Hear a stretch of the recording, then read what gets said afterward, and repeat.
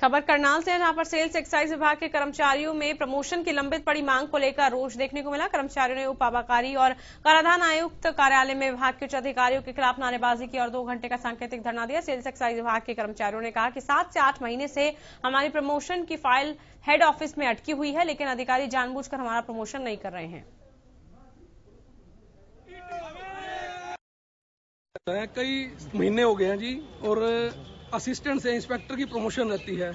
तो सात आठ महीने से जो है, हमारी फ़ाइल जो है अटकी हुई है हेड ऑफ़िस में। ईटीसी जो है, वो अपना अड़ियल रवैया करते हुए प्रमोशन नहीं कर रहे हैं। जबकि इनकी सारी कंडीशन भी पूरी हो चुकी है और सरकार के पास भी फ़ाइल चली गई है। पहले दो तरीक को हमने काले बिल्ले लगा के रोष प्रदर्शन किया था और आज जो ये है, सांकेतिक हड़ताल है दो घंटे के लिए। अगर अब भी हमारी मांगे पूरी नहीं हुई है तो हम जो है आठ तारीख को हेड ऑफ़िस में धरना दिया जाएगा, जहाँ पे भूख हड़ताल का कार्यक्रम शुरू हो जाएगा। कि हमारी फ़ाइल सात महीने से हेड ऑफ़िस में अटकी हुई है और उसके ऊपर जो भी कार्रवाई होनी है, वो पूरी हो चुकी है। उसके बावजूद भी हमारी फ़ाइल को निकाला नहीं जा रहा है। तो इसके लिए ये धरना दिया जा रहा है।